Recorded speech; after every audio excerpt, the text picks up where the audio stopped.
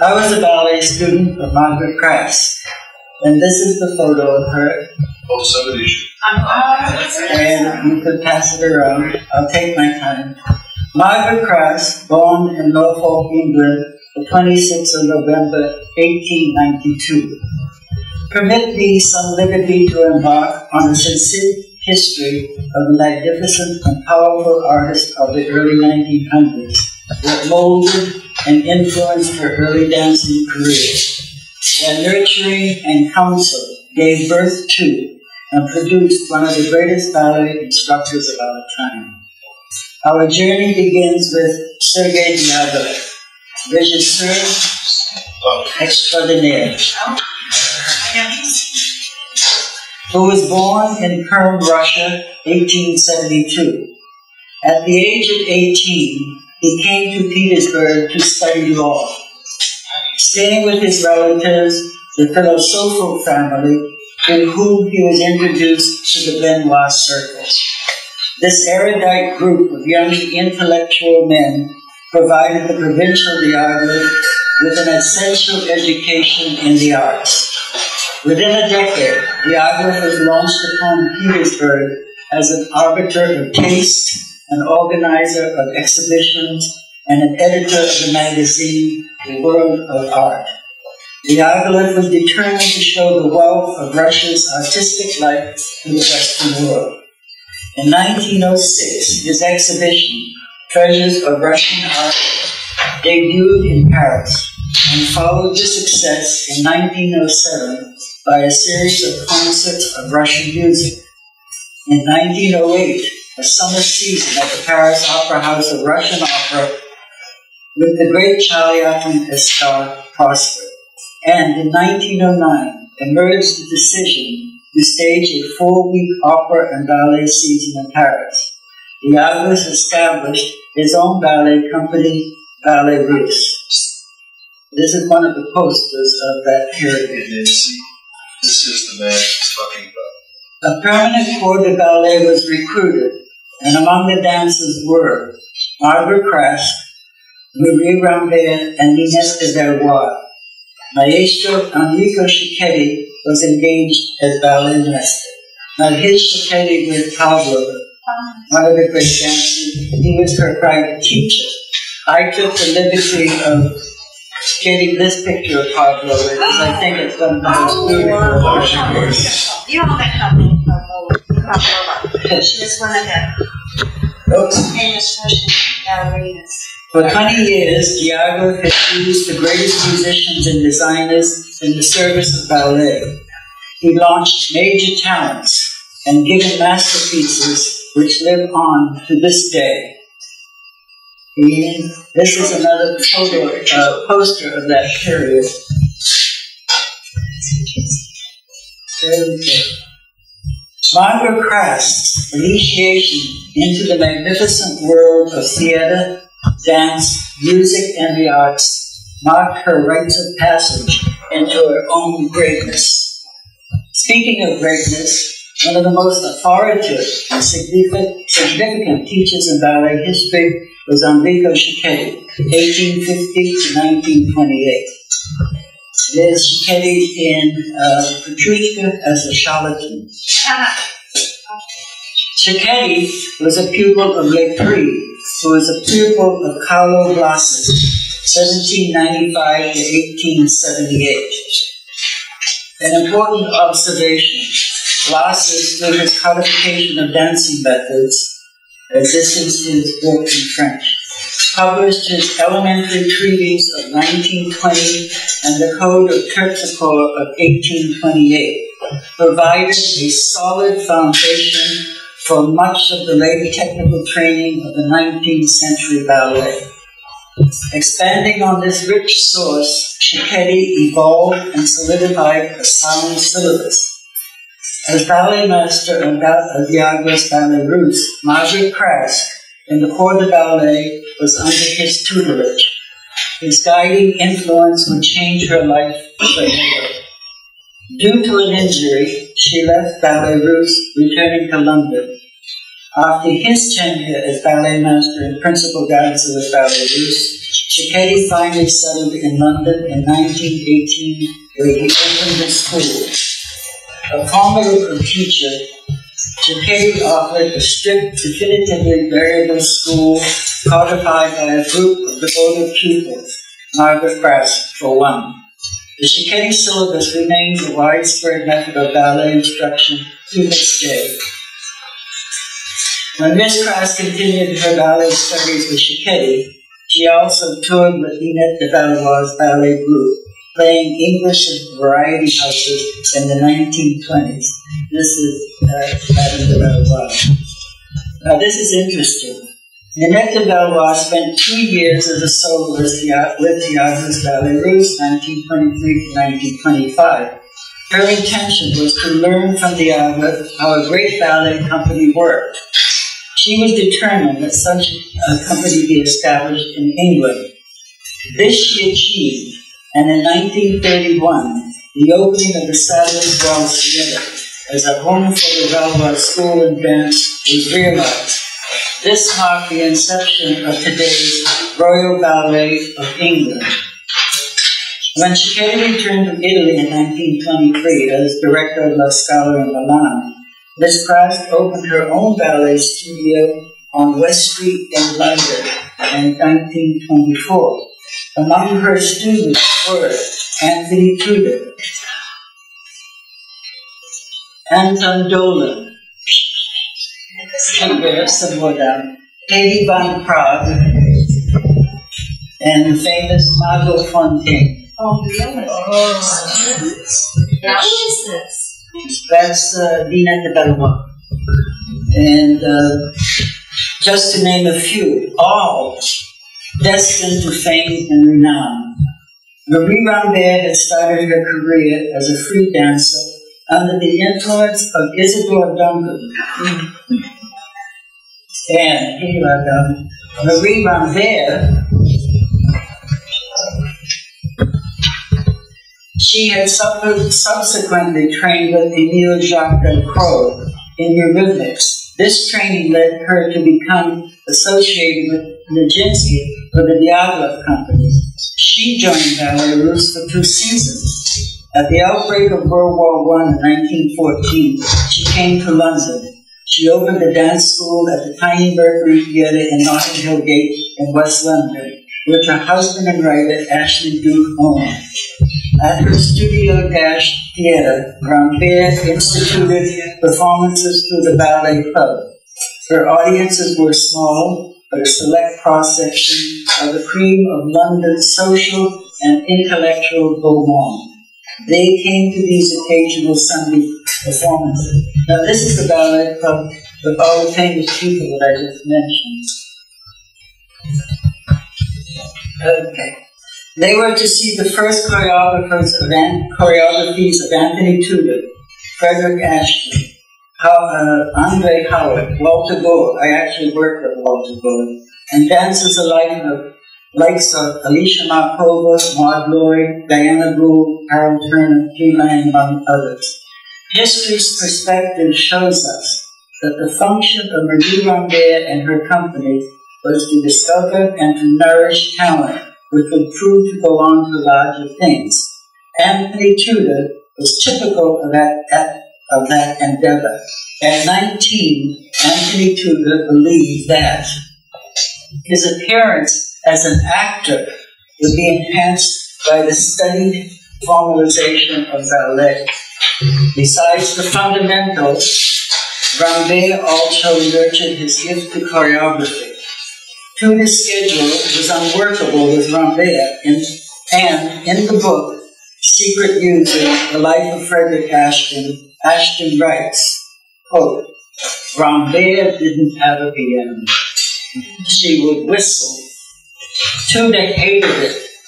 He would steal away whenever he could to Margaret Craske, a teacher whose passion for Cecchetti ballet technique amounted to a religious belief.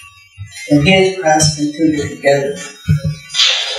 So the Craske Tudor saga begins, a lifelong relationship of two giants honoring mutual respect and high esteem as teacher, director, and associates. as well as wrangling and volatile, vindictive, and at times passionate rancor. Mm. While Tudor made ballet for Rambert's, the ballet club in 1931, Margaret Craske, as a codifier and devoted disciple of Cecchetti, wrote a book with Cyril Beaumont, writer, critic, and proprietor of a bookstore called The Theory of Practice of Allegro and Classical Ballet in 1930. Margaret Craske noted that Tudor was seriously hampered by any chance of becoming a virtuoso dancer. Some 50 years later, she remarked, quote, he was bound to become the greatest choreographer of our time. And that goes beyond whether he could dance well or even beyond the liability of working the working class environment he sprang from. Shakespeare wasn't so high up either. Tudor had a fascination with role playing and took delight in seeing conformity overturned and authority questioned. Margaret Craske recalled, quote, Anthony always wanted to be the leader. He didn't like bowing to others, no matter who they were. He formed his own short-lived ballet company, the London Ballet, in 1938 at the newly built Toynbee Theatre, formerly the Settlement House. He engaged Miss Craske, his former teacher, known for her consistency and clarity. She became his, quote, technical advisor, unquote. I spoke with Bernard of the following events regarding Miss Craske's sketchy for me. I spoke with Myrna Aaron, formerly of the National Ballet of Canada, as well as Deanna Biars, presently teacher and director of the New York Theatre Ballet School in Manhattan. I've been told that she teaches exactly like Miss Craske, and each person related a similar scenario. In 1928, Enrico Cecchetti passed away. The following year, Sergei Diaghilev died. In that same time frame, give or take a few years, both her parents also died. She was distraught. The story goes she saw a photo of Meher Baba, and so began a new alliance. My understanding is she accompanied a child from India. She settled there as a disciple of Meher Baba from 1939 to 1946. So it was Meher Baba who insisted that she leave the ashram.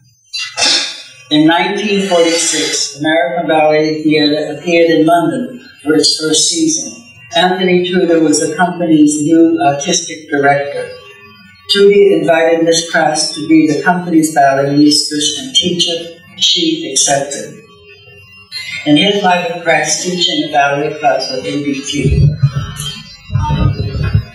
When ABT and the Metropolitan Opera House combined the fall of 1950, this Craske remained at the Met to teach and continued when it became the Metropolitan Opera Ballet School, where she taught as assistant co-director for 20 years. Her immense knowledge and great talents as a teacher of classical ballet drew students from all over the city. So too was Tudor a magnet. From the time dancers jammed into his classes at Carnegie Hall Studio 61, he was renowned as a teacher. The Met would be a place where he could lock material homes with Margaret Craske. But shifting from Craske's students to her peers was a difficult negotiation. The two of them had a taste for sparring they openly they openly competed for a dollar a dollar for students. As she once said, quote, Anthony could acknowledge no other authority. In effect, they both sought dominion and were mesmerizing forces, though wholly different. She was propriety itself, a strict British schoolmistress with wispy gray hair pulled into a severe chignon and a plain, wrinkle-ridden face. She conducted classes of calm, numbered port a textbook of steady refinement. Often she carried a book of the Bhagavad Gita with her as a reminder of her obeisance to Baba. Indeed, she had tried to proselytize Tudor, but of course he declined. to find his own path to another Oriental philosophy, Zen Buddhism. She was strong willed in her own way as he. Despite the contention between them, he saw to her appointment back at the Met and the Juilliard schools, as well as the summer dance retreat, Jacob's Pillow. Craske and Tudor engaged in brilliant repartee. Students did not relish getting caught in the crossfire, however. they overflowed the bar for classes, alternately taught by the two masters. Sometimes one would stay to watch the other. The incendiary mark shot back and forth in salvos. The studio had a large gallery that drew many spectators, for the crowds to the show was something to see. it extended through the morning, afternoon, and evening classes, with all the acrid histrionics and caustic antics. Miss Craske was genteel, noblesse, and aloof, and remained a resolute and tenacious advocate to perceptive Enrico Cecchetti and his fundamentals. She, with the help of Derra de Moroda, in 1956 wrote a second book, The Theory and Practice of Advanced Allegro and Classical Ballet, an exposition of the Cecchetti technique. It was at Jacob's Pillow that I first met Margaret Craske. And here's Margaret Craske at Jacob's Pillow, sitting in her rocking chair. And this is me, her student. Wow. Wow. And this is the famous Ted Shawn. This is interesting. In 1931, Ted Shawn bought a 150 acre property located in the highest point of the Berkshire Mountains in Lee, Massachusetts, near Tanglewood. Years ago. The 18th century house, with its column two story front porch in the style of Natchez, a salt box, was named Jacob's Pillow by the Carter family who owned it for over a century. The zigzag road that led up to the residence, from the main thoroughfare was called Jacob's Ladder. Shawn called his retreat the farm, which was used as a station on the underground, underground slave railway to Canada during the Civil War. Sometimes Anthony Tudor, and this is a picture of me and Anthony Tudor, and this is Judah in his nasty days. as well as Margaret Craske would teach a summer season together at the pillow.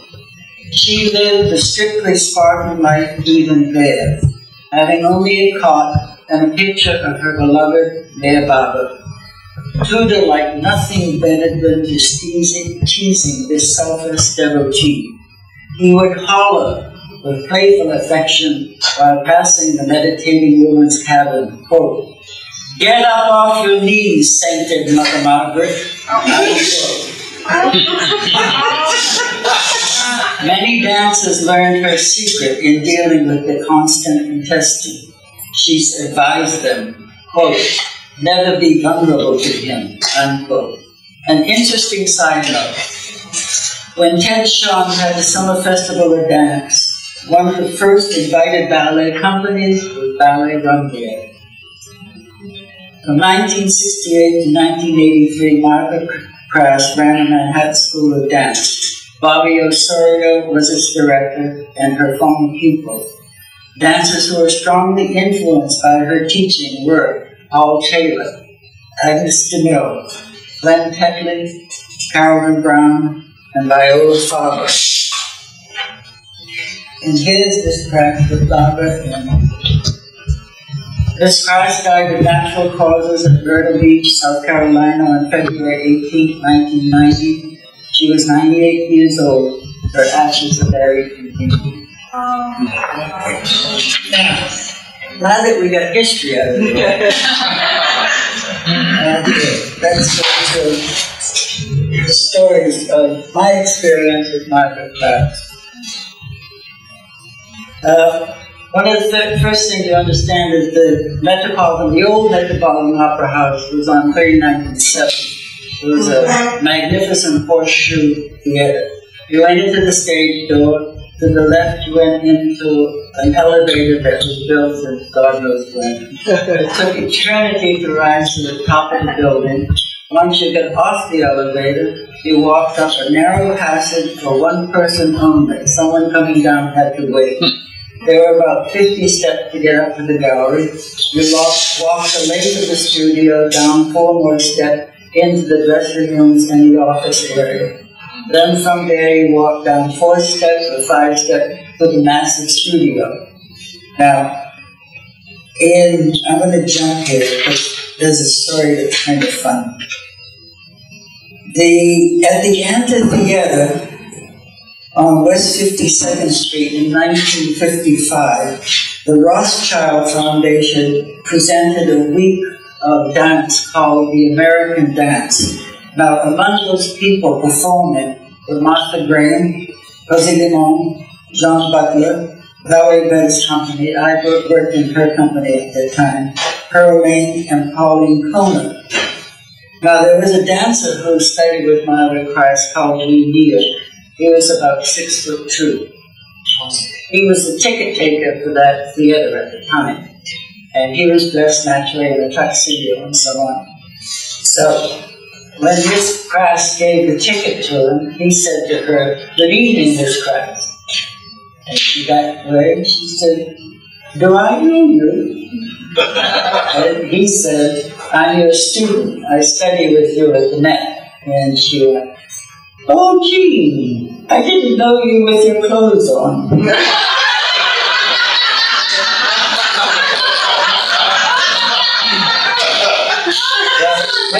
Miss Craske, uh, I was late for the ballet class one day, so I didn't know what to, what to do. Run up the damn stairs or take the elevator. So I took the elevator, which we never, never got there.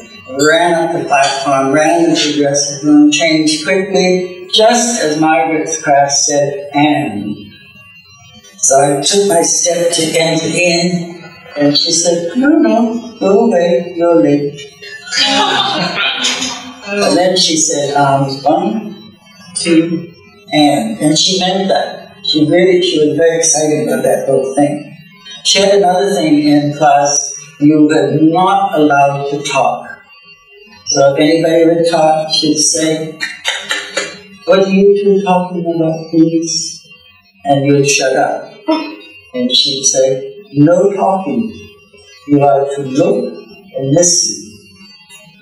And they would talk again, and she'd say, Well, if you're talking, why don't you tell us about it? And then they would stop. And if they persisted, she would say, Leave class, go home, don't come back. She was really excited that way. Okay, I, I did a tour once, and it was uh, common for me to, naturally, when the job came, I went and did the six month or eight month tour. And I always would come back, naturally, to ballet class. And Margaret Craske, I would go to the back and try to hide, because uh, I was generally out of shape. and I knew I forgot certain things which you are not allowed to forget. You are not allowed to forget. So I stood in the back and she said, Oh, you, come here. And I'm saying to myself, oh no, no, no, I don't want to go down there. She puts me right in the first row, center, absolute center. And she looks at me, and she carries celebration corners of one, two, three, four, and the walls are five, six, seven, eight. So she said, face position, arm drawn bar, face card, corner two. And she looked straight at me and said, Sans releve. I only did one thing. You went down and you came up. And I, speaking out of the corner of my eye, is saying, I think I can fake this. and she said I got finished, don't forget, you were cheating. Don't forget, you're not allowed to forget. She was very serious about thing. There's one thing that uh, let me see. We had, Cecchetti syllabus had uh, an attitude, you know, the famous uh, uh, bronze statue of the attitude, of the fellow with the wings in his hair and on his leg. Yeah, but suppose that the attitude of ballet is taken from that as a source. And of the, the arm in that is this way. But this attitude can be this or can be that. And um, we did an exercise at the bar where it was this way. But we had a new boy in class, and she surveyed him quite quickly and make decisions unknown to anybody else. And she, we did the attitude, and she said, Come down, come down. Dear, I know this is correct, but I want this. We are having fun. You understand? You do. Good. We do it again, straight away. And sure enough, they do the exercise again, and he does this. so she said, Young man, you said you understood. Why are you doing this when I told you to do, do this? Show me. So he did this, and she said, Right, I'll do it. Well, sure enough, he did it again. So she said, Go home. Leave the classroom. She said, If they don't want to learn, go someplace else. also, there was another story about an attitude. We, um, the girls were at point a, a double pirouette at the bar attitude. Once they finished, they let go. And she looked at this one girl and she said, uh, as the girl was there, she said, turn the knee over at the same time you take the shoulder forward. Turn the knee over. And she worked on it, worked on it, worked, and it was incredible. It was like magic. This girl just ascended into heaven. So she turned around, there was an actual gasp in the class, and she said, Did you see it? Did you see it? And we said, Yes, we did. And she said, Do it again. The girl did it, and she said, Wrong she said, and then she said, try it again. All right, we'll do the other side. Forget it. So I said to Miss Craske the class, uh, it was incredible. Will she do it again? And she said, yes, you take 15 minutes. Oh my She God. said, as long as she has it in her body and up here, she'll be able to do it again. But it's going to take about 10 to 15 years. and I said, that's how depressing. Uh, Cyril Beaumont, who was a very good friend of mine at Christ, used to suggest to students learn a movement, close your eyes, and then do the movement itself without seeing itself. See it appear. And it was interesting because uh, what he did afterwards how, was have the student open his eyes and watch the formation. Well, Margaret Craske had a student one day, and she was giving her uh, exercise afterwards, the floor exercise. So she said to the students, lay down on the floor, the girl did, and she put your legs together, no dear, together, and she did. And she said, put your arms by your side, and she said, go by your side, dear. So, and she kept insisting, but the girl was having trouble. So I went over and said, Miss Price, I'll do it. And she said, go away, go away. So when the girl finally got it after the period, I said to Miss Price, why didn't you let me show it? You could have saved all that time. And she said, you have to see it here before you can do it here. Which is very much what Cyril Beaumont said. If you can't visualize it in your mind, you're having a problem with it. Uh, let me see. Let me see what this. Oh, she, she used to do another thing that uh, happened to me a couple of times. Uh, she would do a like a simple entendre, and then she would say, "What are you doing again? What are you? Show me." Wrong. now you should be able to do this correct. Go up and practice it. So you had to go out of the classroom and practice it on the other level. And if you stop, did say practice, practice. You're doing it wrong, practice it right. You know. and then what happened was she would forget you. You know, she'd forget you right there. Then when she left off, she'd say, Oh, are you still here?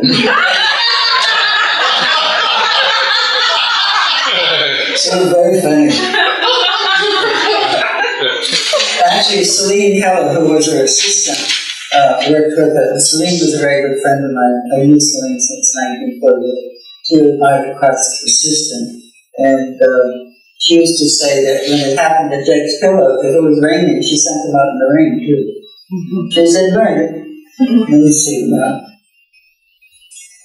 With, oh, when, oh, there was a big one day in class, and uh, I was hypercritical of that, and I was a snob in those days and saying, you know, she shouldn't be allowed in class.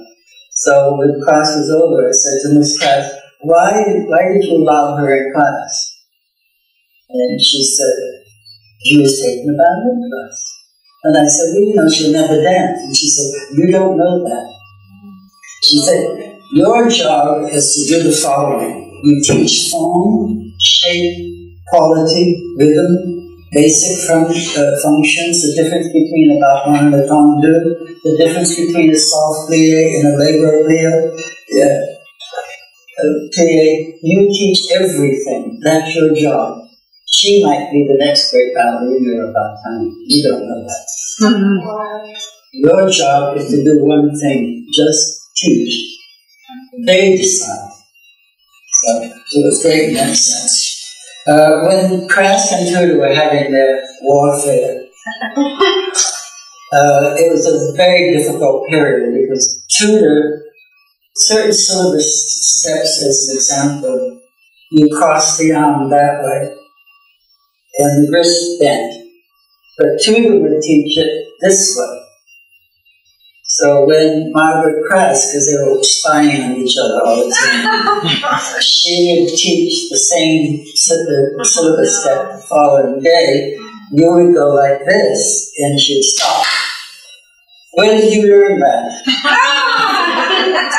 it was sort of caught right in the middle. Well, um, who taught you that? Who taught you that? She wouldn't let you off the hook. And sort of, you know, you know what to say. You say, Mr. Tudor, he's wrong. He's wrong. Anyone who does what Mr. Tudor says is wrong also. You are to do it this way with the wrist. This is correct. There is no other way. He is wrong. she, she meant it too. okay. Oh, you're not allowed to look in the mirror. The studio had a mirror here. There was no mirror there, and the pianist was over here. And uh, if you had, for example, an exercise like écarté, and it was very specific, you had to look through the wrist. That was the focus point, beyond the wrist. Uh, and you did this, you know, she would scream at you and send you to the side of the room because she would say, this is not an écarté, that's an écarté. And if uh, you went to the side of the room and she saw you sneaking a glance, she sent you to the back. and that's where you stayed. uh, let me see. Oh, uh, she used to do a, uh, she did a jeté combination. and she In Cecchetti syllabus, there's a certain jump, and it's a it's a very complex thing. Because what you do forward, you also do back. But it's one of these things where your head's doing everything, your body's doing everything. You don't know the coming and. And it's a very, very old, old syllabus step. So I said to her, we did it, and everybody was having trouble. So I, I said to this class, because I was totally frustrated during class, that's impossible to do. so she turned around and looked out. She, was, she had to be in her 60s. And she did it. yeah, she did it. And then she said, if I can do it, dear, you can do it. and then to make matters worse, she said, reverse. so if you did it this way and the head was this way, and then the head, and reverse, I just gave up. because with, with Craske, she was one of the few teachers, whatever you did forward, you did back. A lot of a lot of schools leave that out, and uh, and I, see because I think when it, we don't have Latin and Greek anymore in schools. So there's a basic fundamental we've left out in our language. And I talked to my friend uh, Marshall, and he used to be an ice skater, and he said uh, in ice skating now, what they call the figure school, that's where they used to go around the circle and make a figure eight. Those were considered the basic class classical structures of skating, and they don't do those anymore now. And you, but it, so it's kind of interesting because Miss Craske said one of the reasons we don't have choreographers is they don't know their classical roots. Mm-hmm. If you have the classical roots, then you can change whatever you want. Um, I, I, remember getting her angry once. Uh, because we were doing a very old, old step. Sometimes she used to drive me crazy. We had to bend back and put the two fingers had to be at the lips because it was a tongue tombe we felt. And I remember one of the students saying, do we have to do this old stuff? and she said, yes, we do, dear. We have to do this. We must know these things. So we had one boy, there's, a, there's a, what they call a simple pirouette. A simple pirouette is just a preparation where you go around once. It's very simple but very difficult. Uh, they have what they call two pliés, a soft plié where, where the music would be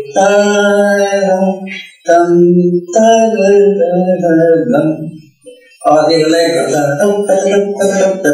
but the turn is still the same. Now you can do this with one, two, three, four, five, whatever the teacher wants in turn. So this one boy was having a terrible time with it. And uh, you had to do eight of them and then straight away to the other side. So she, the boy was having a terrible time, so she stopped and uh, said the coordination of the arm with the leg and so on. And he was doing it. Then she finally got exasperated and said, just turn dear. Just go round. so he did, and when he did it, he fell on the floor. And then she said, no, get up.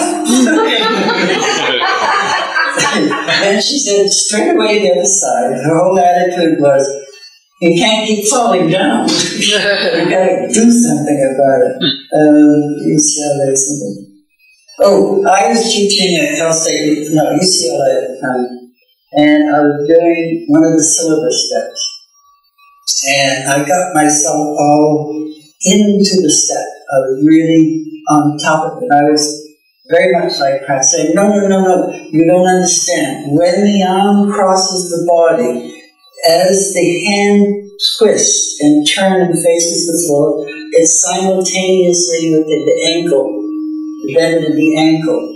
I said that they happen simultaneously. That's the rhythm, that's the structure of it. And uh, right at the same time, I said, oh my God, that's what she meant.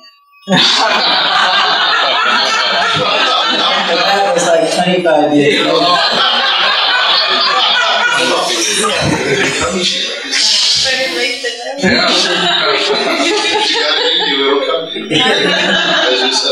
Okay.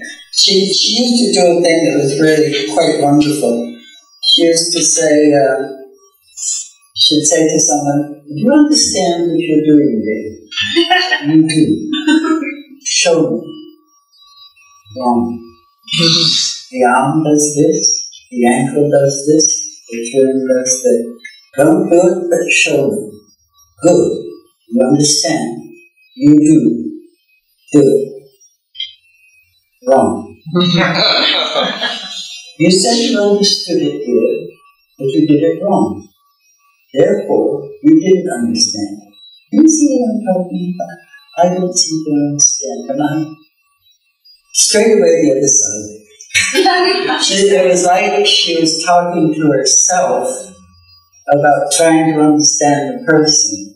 The only time I ever saw Margaret Craske get angry, other than the of them, was, she was very angry about something, and it bothered me a little bit. And then I thought about it a long time afterward.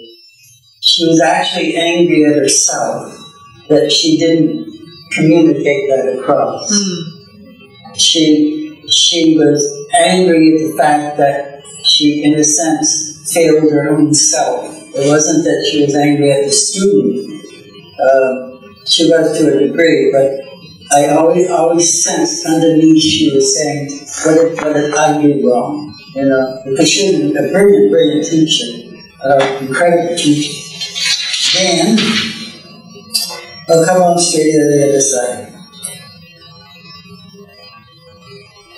Oh, Mary Aaron was a very good friend of mine. We, she was with the National Ballet of Canada, and we worked together on Broadway and Most Happy Fella, and we were a great.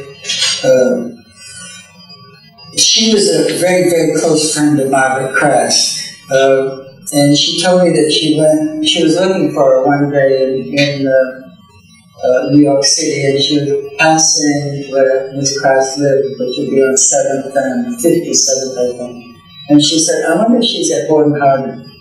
So she went down there, and she did Miss Craske giving her her stuff and everything, and they talked for a while, and, and Mary went back to Eric, uh, Miss Craske, and Miss Craske said, come to the her place, and she did. And she did her little proselytization thing of trying to get Myrna. Myrna said she didn't want to be bothered at that time. And, uh, but Miss Craske was great in that sense. She, we were on the elevator one day, and she said to me, um, Bill, do you know about Meher Baba? And I said, no, no, no, no, no. I said, I'm having a terrible time with Roman Catholicism at this point. and Celine Keller was a very dear friend of mine. We still correspond today. And she said that Margaret Craske helped her to get a job at the Metropolitan Opera and at Delphi College. She assisted Miss Craske at Jacob's Pillow and helped. She would teach the classes, and then at Springfield College, Margaret Craske, at the end of the semester, would give the syllabus examination. And Celine, she, uh, it rather surprised me when I found out that Miss Craske used to write Celine a lot in correspondence. You know. um, I felt left out. Uh, Yes, uh, oh, the, uh, the great Nuria, she would not allow the ballet class. She said he would disturb everything. and she all she wanted to do was it. I was on the elevator and uh, I had lived in Europe for five years. And when I came back from Europe, uh, I had a steamer trunk. And uh, the day that I literally arrived in New York, I went to where all the dancers hang out and met all these dancers. And I met this friend of mine in New York, and she said, "Oh, they want you to restage uh, a certain uh, a Villanova ballet that uh, I was assistant to get Jacob's Pillow." Then, so I called up Ted Shawn, and they said, "Come." And when I returned from that that period, which was about a month, I went to get my steamer trunk, and everything was stolen. And the only thing they left me was about a white pair of socks and my ballet uh, dance top. Uh, so I was telling Miss Sister Craske on the elevator, and she said, before I could respond to you know any feeling, she said, "Wasn't it wonderful?" And I said, I didn't know how to react to that. And she said that when she came out of the underground, her home was blown up by a bomb, and she had no past only the present. And that was the time that she came to America with, with, with Ballet Theatre. Uh, I asked her about vegetarianism, and she said she liked chicken and fish occasionally. and I said, well, what about those students that, uh, you know, are vegetarian? And she said, they have no idea what they're doing there. okay. Oh, I had, I had actually a nice compliment. I thought it was a very good compliment. When I was teaching at UCLA, I had a boy who, uh, his name was George, and he studied with me for about, I think, 12 weeks. It was a daily basis type thing. And after ballet class, after the, the semester was over, he came to me and he said, I learned more from you in this course than I did for the last six years with other ballet teachers. Mm-hmm. But I always credited that to Margaret Craske. Because Margaret Craske used to say, if you don't know what you're doing and you do it wrong, how do you get better? And you have to know that yourself. And I will show you. And it's up to you to practice and make it better. But that's why she was so insistent on uh, uh, um, remembering everything. Uh, Tanaquil was a, a prima ballerina with the New York City Ballet, and she did one evening, I wasn't there, a series of fouettés. So the next day, Margaret Craske came into class and she said, How many people saw the ballet with Tanaquil And she they raised their hand and she said, Did you applaud? And they said, Yes, we applaud. She was great. She did it wrong. and then, all day long, they had fouettés on told everybody absolutely the same. Okay. Um, she gave a, one day she gave a, a, a. And she was meticulous, absolutely drove me crazy about the way the foot came around and assembled.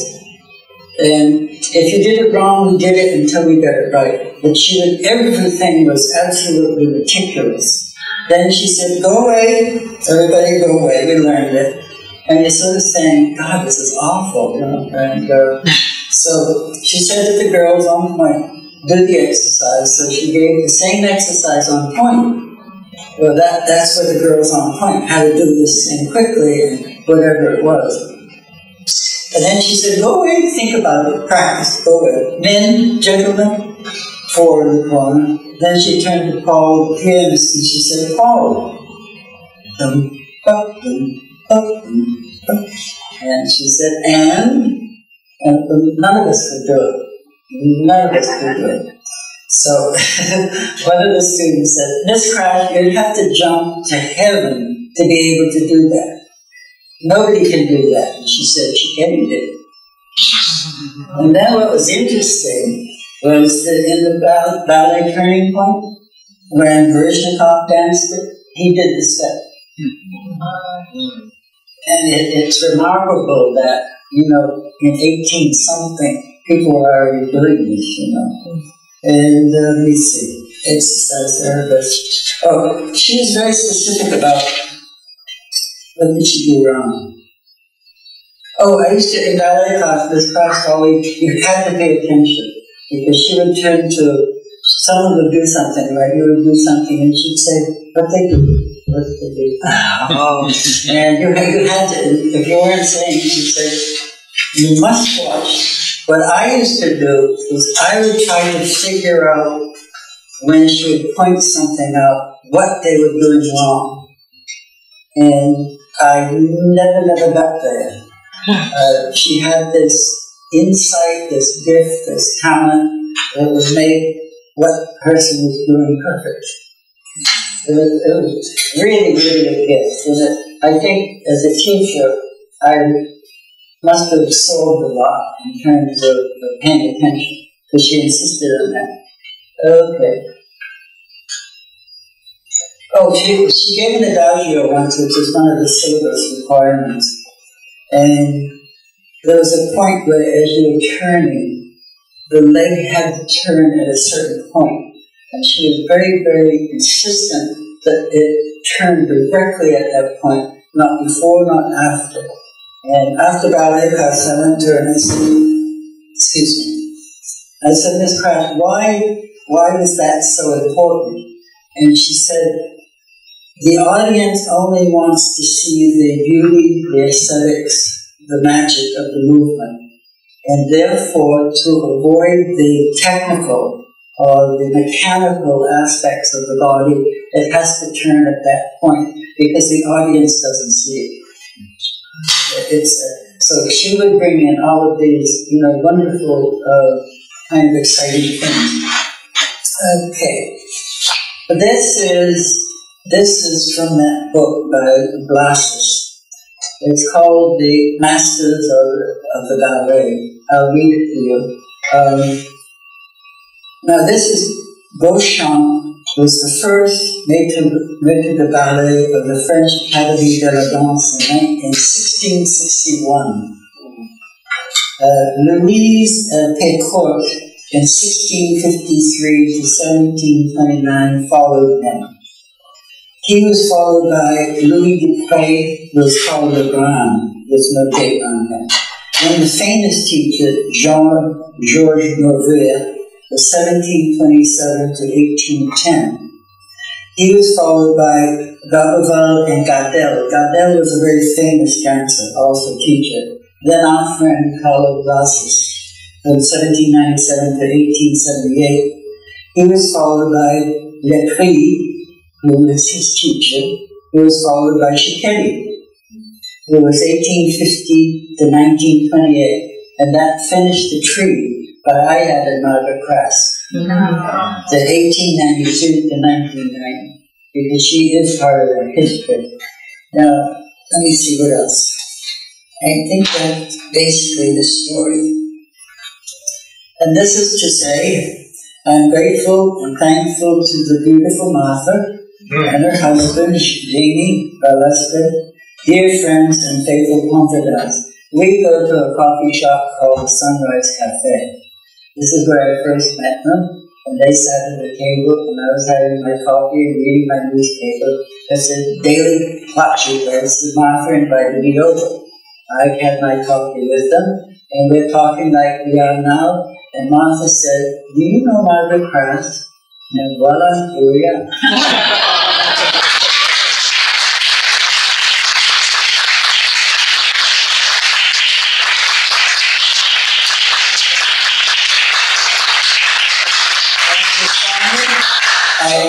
Grateful to Sonia Valentine for the privilege and opportunity to speak with my teacher, Margaret Craske, at the Alcatania Baba Center of Southern California. And I promise my friends special thanks I extend to Marshall Cam- Campbell, Stan Hess, and Johnny Fredericks. Marshall Campbell was a puppet master and a coach, formerly a professional ice skater who coached the national and international world competitors of ice skating. His puppet collection is presently housed at the Aurora Valentinetti Puppet Museum in Bremerton, Washington. Stan Hess is the curator of that museum. And Johnny Fredericks, to these fine gentlemen whose indispensable suggestion and stimulating advice helped shape and guide this endeavor, I thank you. And special recognition to Johnny, because he our teacher, a remarkable woman, a divine spirit. Mm-hmm.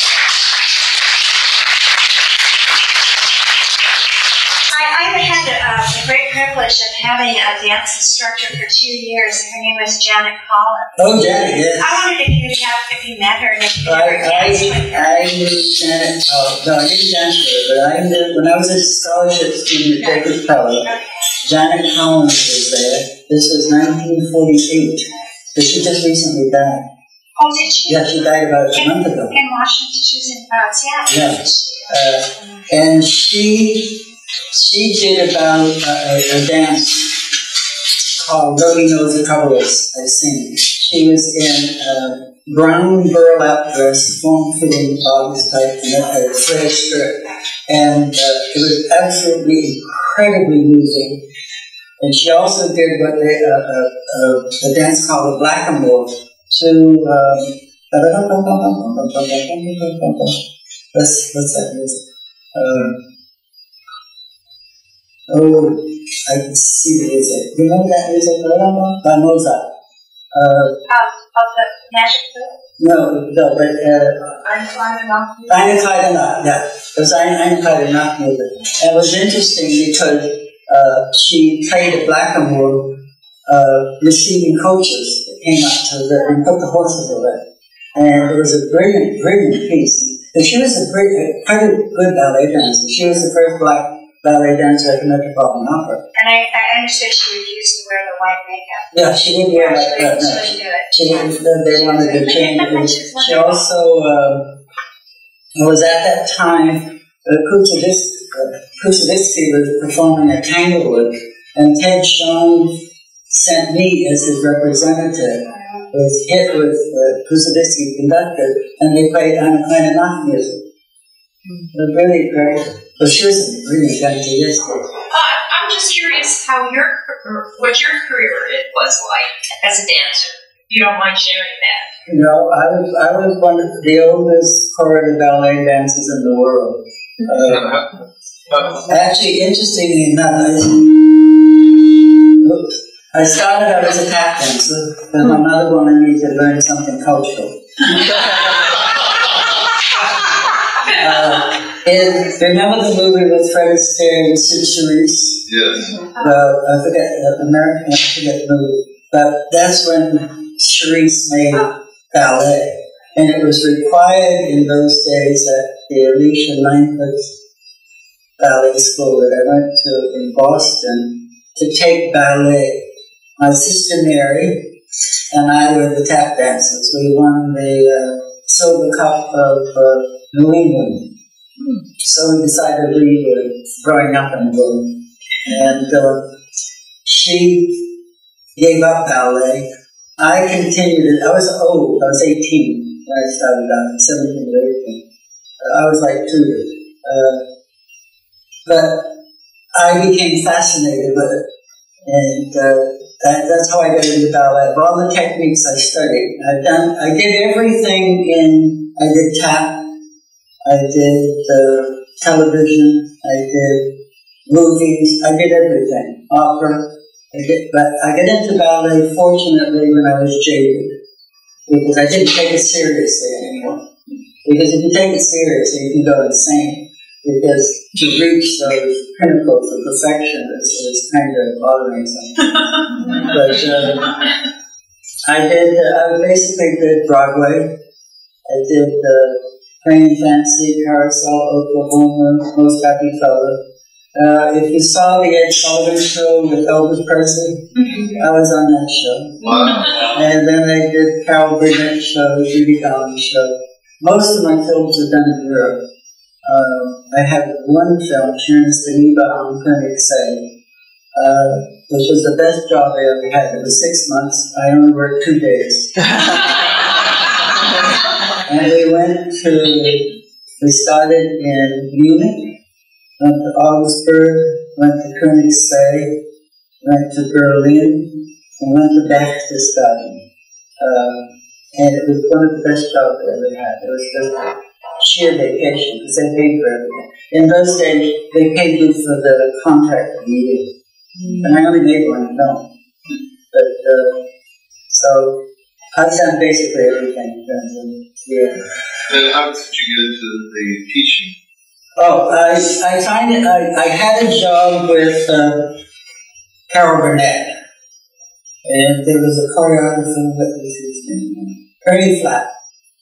Um, what happened was there was a, Ernie hired another boy and tried to get rid of me, and, which is typical children. so basically I was fired from the job and uh, which is okay. But then I said to a friend over a couple of brews, uh, I want to continue dancing, but I'm 44, which is pretty old for a chorus boy. Uh, and, however, I don't want to dance anymore. You know, I was a great fake. I could fake anything. I could make it look like a masterpiece. And I wasn't even off the ground. And uh, so what happened was, um, I gave myself for six months. after six months, I changed the job. In the meantime, uh, Katherine Litz was identical. She was a modern dancer in New York City, a brilliant, brilliant woman. Had a mind that was crazy. She happened to be in LA and said, I recommended you to the dance department in LA. And she said, and this is what you must do go out or rent a black suit, wear a white shirt and a maroon tie, and go there with your credentials and don't say a word. Agree. Don't say a word. So I got the job based on that.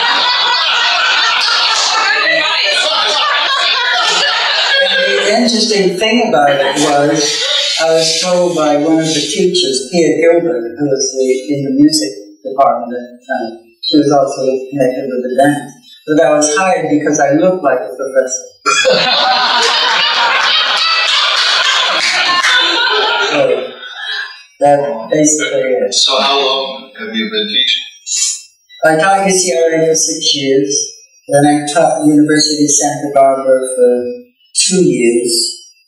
Uh, Cal State Long Beach, when it was Cal State, for two summers. University of Hawaii, where Rod was, for actually two summers. Yeah, it was two summers. Uh, and then I taught Los Angeles City College, the evening uh, community for five years. And uh, basically that was it. And that, that was another thing. Um, I quit UCLA because of my increase in grade. My raise, which I thought was five dollars an hour, turned out to be five dollars a year. So uh, you're not, you're not teaching now? no, no, no, no, I just sit and drink. That's all.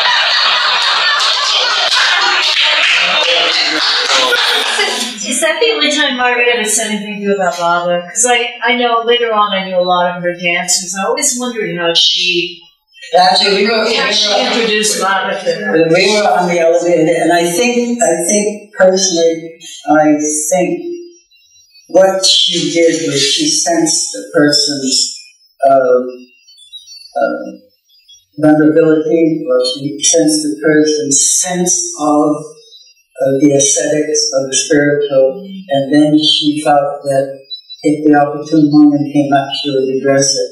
But in my case, because I commented on having enough trouble with Roman Catholicism, uh, then uh, she didn't back off. She, that that was the remark that said, "Not now." That, like with Celine Keller, she asked Celine if she'd be interested, and Celine said, "Well, when I become non-Jewish, I'll talk to you." So she never approached you again about Meher Baba? Never, never again. Well, part of the time was, uh, no, she never approached me again, but part of the time I was always coming in and out. Because mine depended on work, and if the job was there, I went. But you give me a good example. Uh, I finished ballet class at 7.30 at the Met, and I decided it was a nice evening, I'd walk home, because I lived, uh, that was on 39th, I lived on 46th. And I decided to walk home, and I met this friend of mine, Ray Harrison, very great person, great person, uh, who was a dancer. He said, "Oh, I was looking for you." He said, uh, "Would you like to go to Europe?" and this was Monday, and I said, "Sure." And he said, "I talked to him about you. Here, call this number." So I called the number the next day. Happened to be Joe Sanders, uh, who was with a, a dance with uh, American Ballet Theater, and he said, "I've heard about you." I don't have time to audition, but would you like to go to Europe? And I said, yes. And he said, leave Saturday morning in Brooklyn, um, the, the Amsterdam. We're leaving. So I went home to the roommate at the time and I said, I'm going to Europe. And I had to sell stuff. So I did. I sold some stuff. And then I went to a friend of mine and said, I need $300. And he gave it to me. I said, I'll pay you back. I did five years later. and I went to Europe. That was the Monday, and I left on Saturday morning. Wow. And I stayed there for five years. Wow. Did, did you know Tex Hightower Oh, yeah. or Brenner Mill? Actually, it's interesting about Tex. Tex is a, a, a very wonderful dancer. He had an exquisite body, and when I first went to the Met, because know, you know he loves terracotta. Uh, he always had his terracotta on with his red And uh, um, I, I used him as my focus because he would, he used to drive me crazy. Because he was a snob of all time. uh, to, uh, Tudor would give a combination. This his nasty days. He would give a combination, and it would go on for eternity, and you turn to the person next to you and say, how did it begin? A text, dude. Tex would sit there very blasé, and you'd say, oh, him, and uh, he would do it, you know. And then Tudor would turn around and say, I thought this was a professional class. We always had a dig him. Uh, my experience with Tudor was very interesting. Uh, I was at ballet class and I was not in the mood for dancing at all that day. And he was, Tudor was being his really nasty self. He could be vicious. I mean, he could destroy people if he wanted to. I think he did a couple. And uh, he came and he looked at me. We were doing heat work, which but I had speed, but I didn't have good feet. And uh, so he looked at me and he said, disgusting. so I laughed at him. I just laughed at him. I'm saying, this whole thing's ridiculous. I'm not ever going to be a big dancer. I just want a job. So it was ironic because years later, when I met Tudor in Munich, he was restaging Gala performance for the Bavarian Opera. And uh, we went out and had dinner together, and he told me that he knew that I would make it that day. Because uh, my attitude was, you know, I mean, it, it, You laughed. yeah, it just sort of like, oh, God, I'm never going to do that. so, but my, Miss Craske did something that was wonderful. She could sense if there was something bothering you, you know. And she always did this magnificent thing of saying, you she'd say, for example, Father. And you'd go through it, and then she'd make a correction, and all she would do is look at you. And you knew everything was okay. Mm-hmm. Uh, She gave you that wonderful sense of you can do it. Know, I think that's what made it extremely unique. You know, we're to it, just trashy. You know. But now, now I'll tell you the last story. When I was studying with Craske, she gave a ballet combination, and we had a specific thing. There would be four boys and then she would say, ah, after the first eight bars of music, the second group come in on the four, the last four measures. So what you do was had to do was when the first group met, and those last four measures you walked in and took your position. Now, if you didn't take the position, you weren't allowed to dance. She wouldn't let you do it. And I asked her about that one day. I said, I don't understand why you're insistent. And she said, because I'm teaching you how to take the stage on on the professional ballet, how to make an entrance. You know. Uh, then what happened was I, we were doing a combination and we finished and she said, Bill, do it alone. and I said, oh God, you know, I'm going to do this. All the energy of my life. So I went over and I took my position. She turned to Paul, the pianist, and she said, and? So I bounded across the, the room. I was gone. I did everything possible to make to be perfect. You know. Then she stopped and she said, uh, "What are you doing?" and she said, "Paul, play the music." And Paul played the music, and she said, "And what is the music?" And I said, "Chopin." She said, "Why are you dancing Beethoven?"